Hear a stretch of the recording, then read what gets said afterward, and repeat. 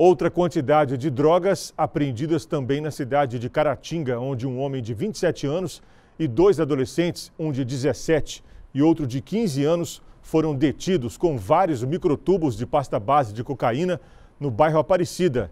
A polícia atendeu uma denúncia de que indivíduos estariam possivelmente negociando armas de fogo no local. Ao chegar no endereço informado, os militares viram quatro homens debaixo de uma árvore. Quatro pessoas, né? Um fugiu. O preso de maior idade cumpre regime de prisão domiciliar. Um celular foi apreendido com um dos menores. O aparelho seria de uma pessoa da cidade de Inhapim. O trio detido foi encaminhado para a delegacia de Polícia Civil junto com os materiais apreendidos.